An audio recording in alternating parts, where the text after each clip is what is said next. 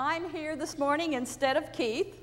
Forrest is over here to attend to the screens. Twyla is at the organ. And all of this is because Keith had to take care of some important presbytery business this morning. I realize this is all different from what you expected when you came to church today, including no scripture inside your bulletin. When things are different, from what we expect, when things change, we are called on to adjust. That's part of life. And certainly, change can be upsetting. However, it is also true that change can be quite exciting. For example, next week we will welcome Grace's new music director, who just happens to be here this morning. Dennis, would you please stand?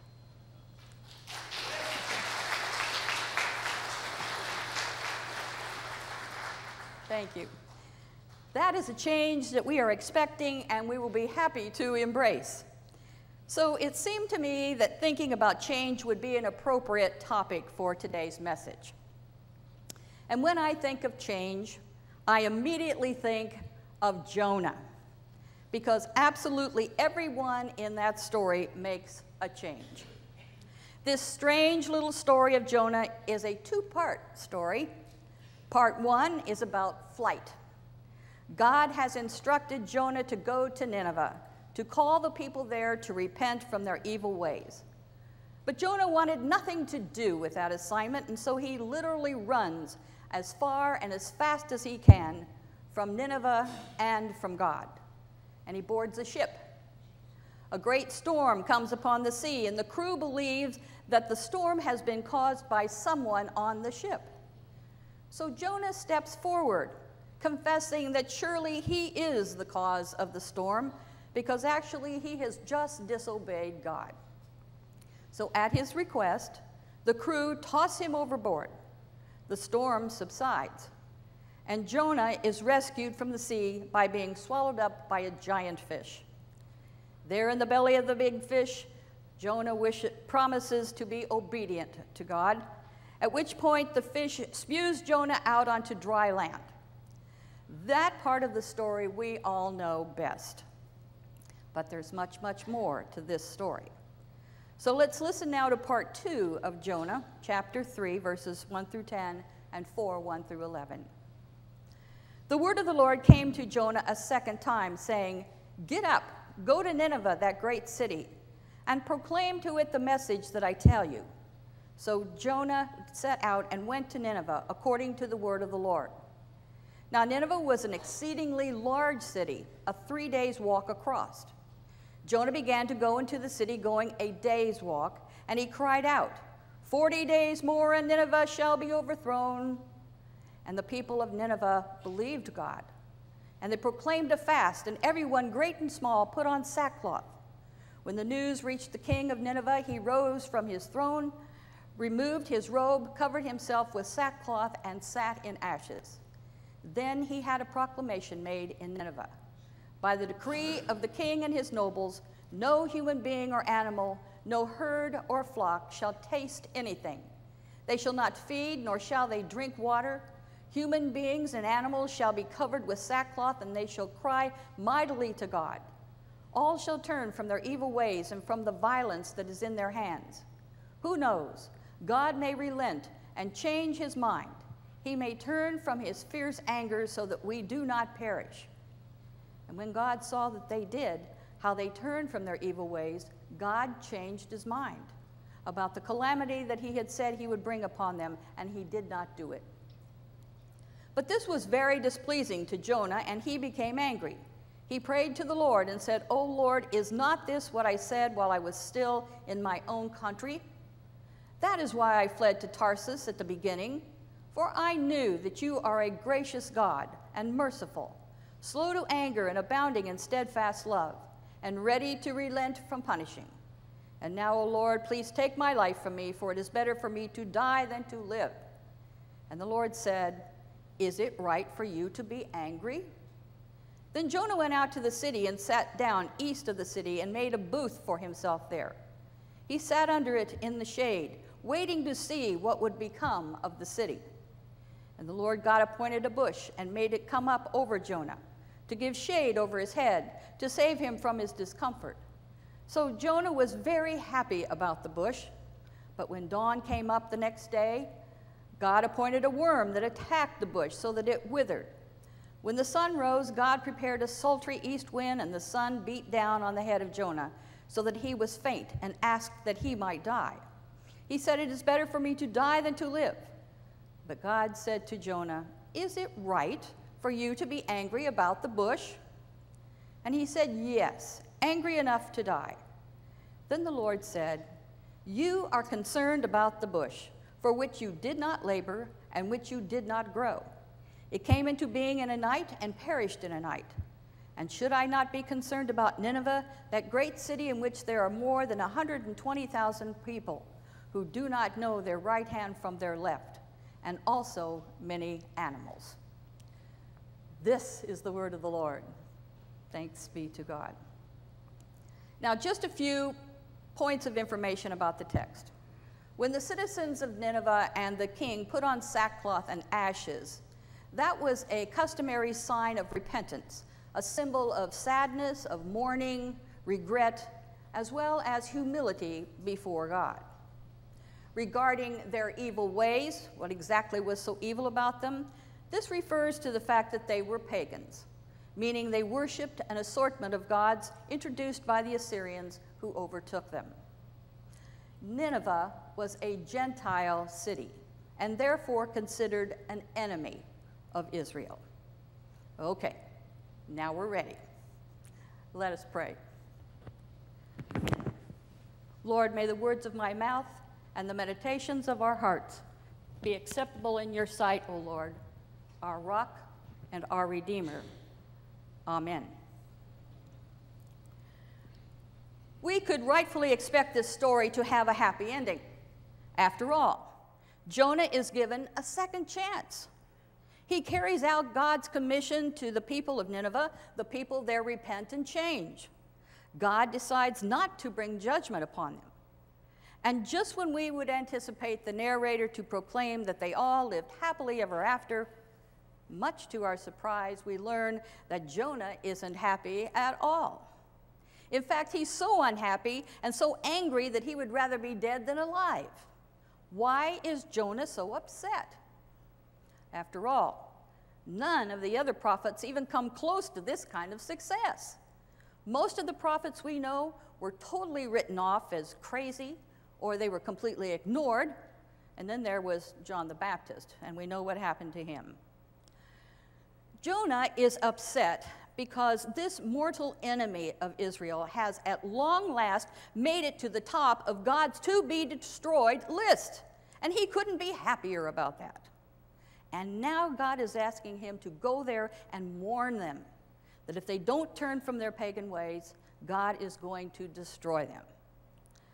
This assignment, this mission, God has given Jonah calls into question everything that Jonah holds to be true and sacrosanct as a Jew. It just doesn't seem fair.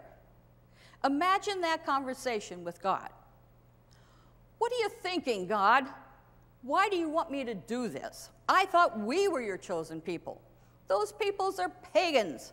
They don't even know how to worship you or how to keep your laws. Lord, they are unclean and you want me to warn them of your judgment? Why, Lord, they deserve your judgment. How can you offer them the same deliverance that you have given to us? So we can see why Jonah wants no part of this redemption thing.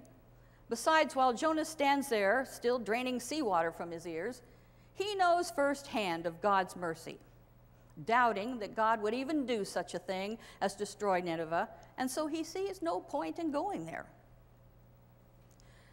The biblical commentators tell us that this little story is about Israel, Israel's reluctance to reach out to those outside the original covenant that was established with God. Therefore, Jonah represents Israel. The story is written to prompt Israel to open herself to a more comprehensive understanding about the magnitude of God's grace offered to all. And of course, this would call for a rather large change of heart for Israel toward her neighbors and her enemies, as well as a great challenge to their identity. Israel was perfectly satisfied with the covenant they had with God just the way it was, just the way it had always been. So Jonah is wondering why do things have to change? My specific call to ministry for 20 years was as a pastor to congregations who were in transition. And every congregation I've served has affirmed something that we all know, and that is that the world that we all grew up in exists no more. While we were all busy rearing families and climbing corporate ladders, the world changed. But while the world was changing at a warp speed, the church did not change. As a result of this, the latest statistics tell us that for Presbyterians, two thirds of our denomination's congregations now worship less than 100 on a weekly basis. Two thirds. The church is smaller and older right now, but they add, we are not dying, we are reforming. And that's something we Presbyterians do know something about even something to celebrate. Why do things have to change, especially when we like them just the way they are? Why is it that God seems to always be asking us to do something we've never done before? And I hope that you will think about that question this week. Now, you've heard me share this before from Reverend Michael Foss in his book Power Surge, but it's worth repeating. How we have been the church is no longer effective. Further, the model of being church that we all grew up with has been focused on taking care of the membership. And he spells out the need for the church to move from that model to a model of discipleship. The discipleship model focuses on mission. In a nutshell, it means the church must turn its focus from inside to outside. Our General Assembly has shared that the decline that we have seen is because we Presbyterians do not do evangelism well. We do not seem to know how to share our faith with others. So here's an idea. Those blue shirts, if you haven't purchased one yet, I encourage you to do so. And then wear it. Wear it everywhere you go. And when someone asks you about the shirt, tell them about the wonderful church where you have the opportunity to learn God's word, to experience God's grace, and to participate in being the hands and feet of Christ in today's world. Tell them how your faith has made a difference in your life. The world has changed, and so must the church. Who could have imagined the multitude of things that we can do and the way our lives have changed because of our cell phones.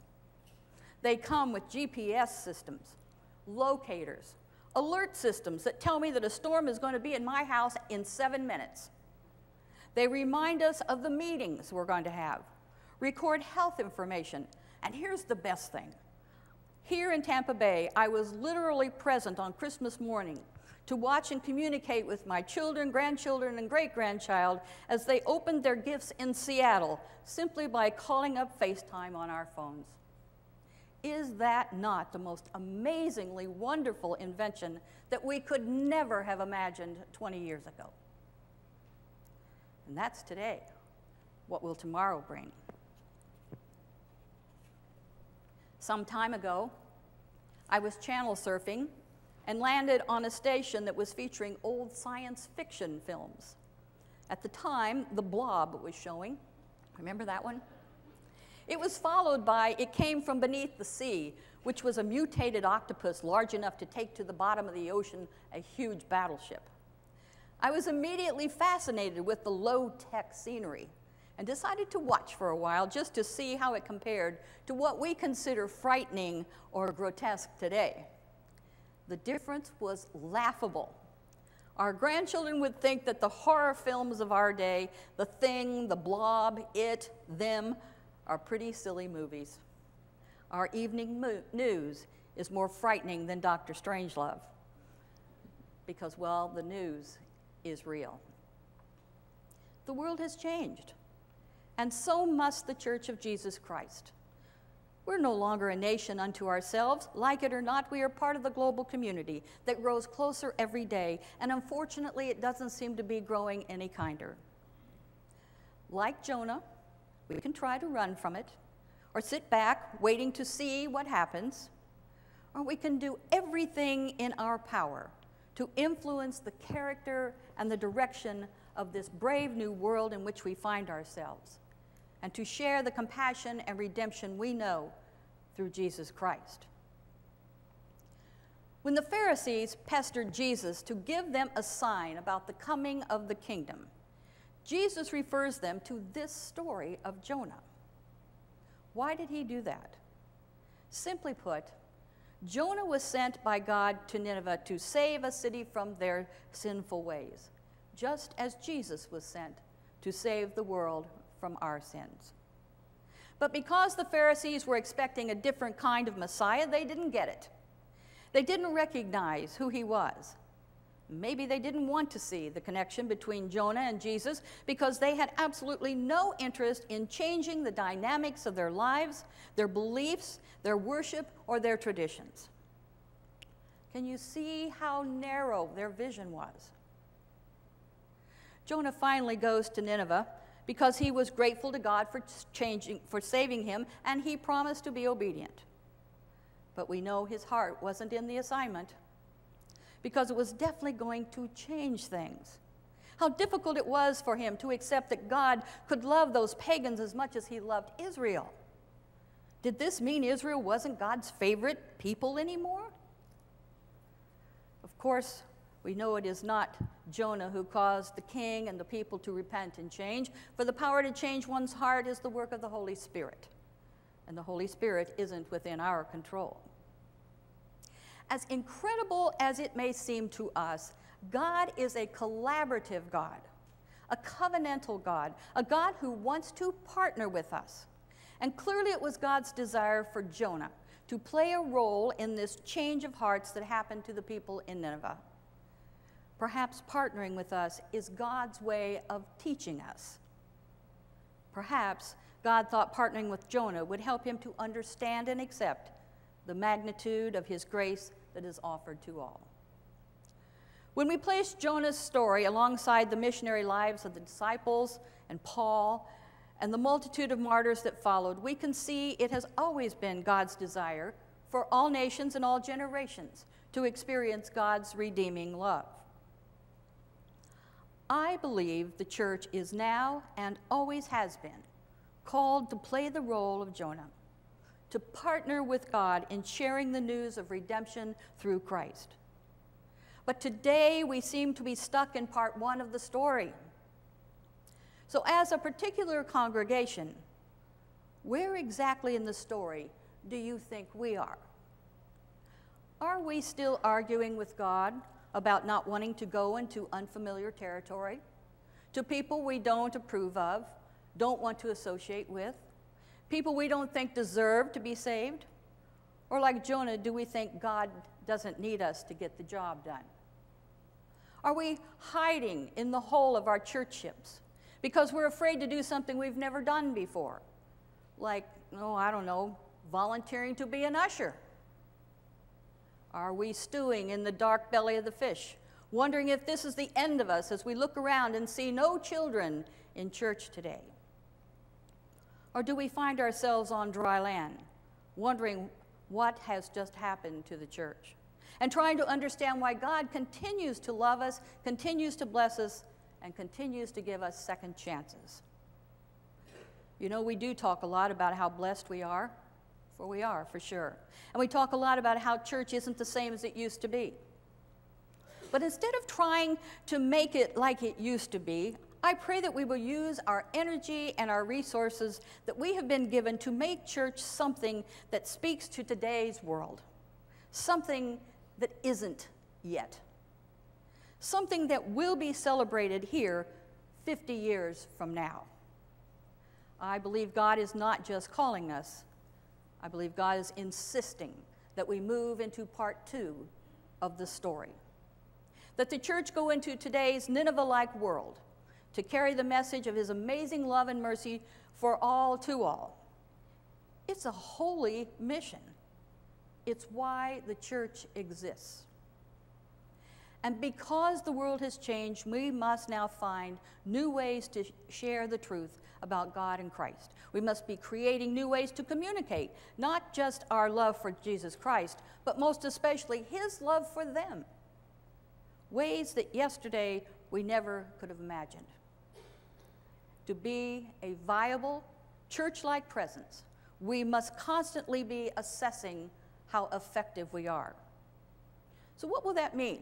What will it take? We will surely need to address the scheduling challenges and the spiritual needs of today's young families.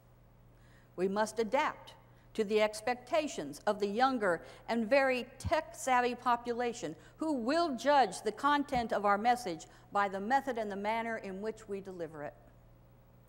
It will require us to focus on mission, not membership. And the heart of a successful congregation will need to be unabashedly caring and generous to people who are different from us and those who are in need of help. We must get the message to the surrounding community whom we don't know. Children and their parents who probably will not appreciate our particular sense of decorum and who have absolutely no idea what the term narthex, chancel, gloria patri, or doxology means which is to say that we must learn to communicate in today's language. Our worship will need to be more experiential with videos and whatever else we can dream up that communicates to a younger, visually oriented generation who multitask every waking hour of their day. Maybe instead of bulletins, one day we'll just use our cell phones. We will need to develop relationships with our neighbors and other communities of faith and create a place where strangers experience a sense of belonging immediately. Jonah wasn't able to accept the grace that God offered to the people of Nineveh, but I'm betting we can. In fact, there are indicators that change is already underway here at Grace. You have state of the art video screens up here and a 1974 hymnal in the pew. That's change. Letting go of the past isn't easy for sure, but it's the only way forward. There are 450 English translations of the Bible, and yet our children do not know that Jesus was a Jew. There is much work to be done. And we cannot assume that it's just going to happen by coming to church. Nor can we expect that one or two or more pastors have enough clout or jokes or degrees or chutzpah to bring in youth and children so the church can return to how it once was. We must say goodbye to those days. And we must all take responsibility like we've never had to do before. That is discipleship. Yes, change is messy. And yes, it can be very disturbing. Of course, we could try to run the other way, but we'd be kidding ourselves to think that that would delay the coming changes. Or we can just get on with it knowing that as we go, God will be working His will through us, partnering with us, just like God did with Jonah, even if we too are not convinced of its merits and have absolutely no idea where it may lead. We love the church just the way it is, just the way it has always been. And Grace has had a really great run of 50 wonderful years. Only God knows what the next 50 years will look like but we can be and we must be ready for whatever possibilities, whatever opportunities God chooses to place before us in the days and years ahead. Can I get an amen? Amen. amen. The world has changed, and so must the church. This small little story of Jonah, often thought of as a children's story, calls for a very adult response. How will our story turn out? Year 51 is already underway. And with or without us, God will see to it that someone goes to Nineveh. So the question we must answer is this If we aren't going where God is sending us, where in the world do we think we're going?